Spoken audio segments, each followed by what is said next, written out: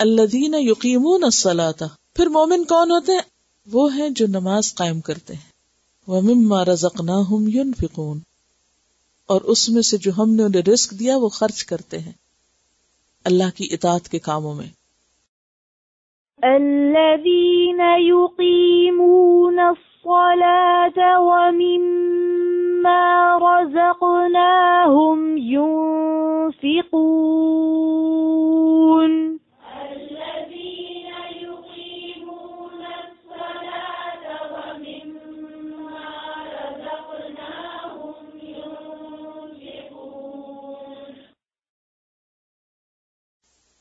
उलाय का हमुल मुमिनून हक्का, यही लोग सच्चे मोमिन हैं।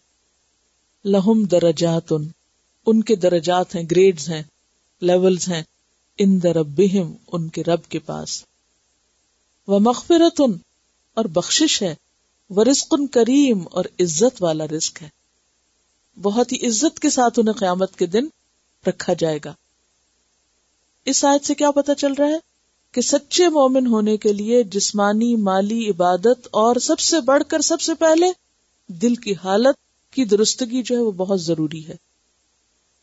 और इंसान के अंदर एक मोल्ड होने की सलाहियत हो, फ्लेक्सिबिलिटी हो, झुकने की सलाहियत हो, अकड़ ना हो।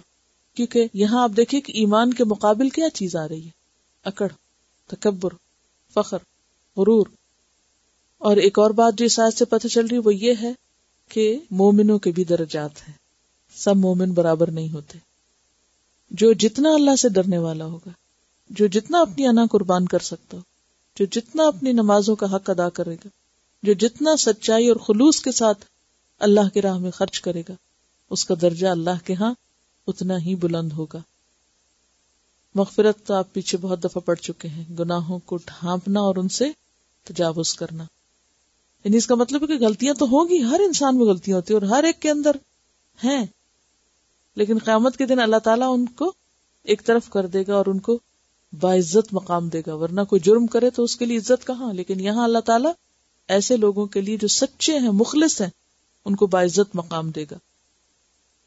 और ये बात यकीनी है और मानी हुई है कि ईमान के भी दर्जे हैं और मोमिनों के दर्जे हैं। कि मोमिनों के दर्जात हैं। दुनिया में आप देखिए कि हम में से हर एक की ख्वाहिश होती है कि आला दर्जे पे जाए, ऊँचे दर्जे पे जाए, ऊँचा मकाम उसको हासिल हो। और यहाँ भी दर्जों की बात की गई। रसूलों में भी दर्जात हैं। तिल कर रसुलु फद्दलना बादहुम अला बाद। मिनहुम मन कल्लम अल्लाह रफा बादहुम दर्जात। अहले ईमान में और दर्जे पीछे आप पढ़ चुके सूरत निसा में। कि फद्दल अल्लाहुल मुजाहिदीन बे अमवालिहिम व अनफुसिहिम अलल कायदीन दर्जा। अल्लजीन आमनु व हाजरु व जाहदु फ़ी सबीलिल्लाहि बे अमवालिहिम व अनफुसिहिम आज़म दरजतन इंदल्लाहि व उलाइका हुमुल फाइजून। सूरत तौबा 20 में आता है। और सूरत अल-अनाम में भी आप ये मजमून पढ़ चुके हैं। व रफा बादकुम फौक बादिन दरज।